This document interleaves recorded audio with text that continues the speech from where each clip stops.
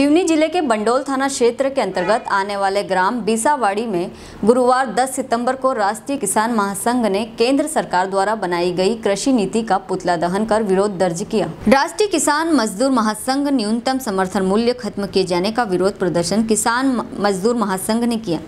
केंद्र सरकार पर आरोप लगाते हुए बताया कि पीएमसी में केंद्र सरकार ने बदलाव किया है।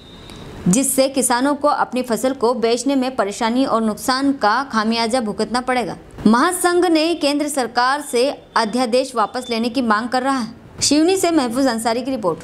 के नीचे आते हैं तो एक भाव होता है कि हम इस देश के किसान हैं, इस देश के मजदूर हैं, हम अपनी राजनीतिक महत्वाकांक्षा और स्वार्थ की चप्पल को इस मंच के बाहर उतार के आते हैं और यही भाव लेकर अगर हम आएँगे तो ये लड़ाई बहुत आगे तक जाएगी, नहीं तो हम बिखरे रहेंगे और हमारी सुनने वाला कोई होगा नहीं। उसका सबसे बड़ा कारण यह है कि जो भी राजनीतिक पार्टी केंद्र या राज्य की सत्ता में रही है, कोई भी राजनीतिक पार्टी सरकार में रही है, उसका चुना गया जनप्रतिनिधि, चाहे वो आपका विधायक हो, सांसद हो, वो है कौन? इस देश में सत्तर प्रतिशत किसान यानी अस्सी करोड़ के लगभग उसकी संख्या है। वो उसमें से चुना गया। दो तिहाई से भी ज़्यादा किसान का पुत्र है। लेकिन वो जाता है और जाकर उस विचारधारा का गुलाम बन जाता है। किस विचारधारा का? जिस पार्टी के लिए वो काम करता है। चाहे वो मेरा भाई ही क्यों ना हो। तो हमें ऐसी राजनीतिक पार्टियों की महत्वाकांक्षा वाले व्यक्तियों को इस मंच से दूर रखना है और उस चप्पल को उतार कर इस काम को बढ़ाना है।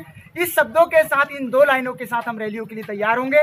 मेरी बातों से आप अवगत होना चाहेंगे। इन दो लाइनों के साथ हम रैलियों के लिए जाएँगे। कि ये वतन की रेत, ये वतन की रेत मुझे एड़ियाँ रगड़ने दे। ये वतन की रेत मुझे एड़ियाँ रगड़ने दे। मुझे उम्मीद है कि पानी यहीं से निकलेगा। मुझे उम्मीद है कि पानी यहीं से निकलेगा और मेरे पैर का कांटा हाँ। किसी से नहीं। मेरे पैर का कांटा किसी से नहीं। मतलब ना सरकार से ना विधायक से ना सांसद से। मेरे पैर का कांटा किसी से नहीं हमारे पैर का कांटा हम ही से निकलेगा।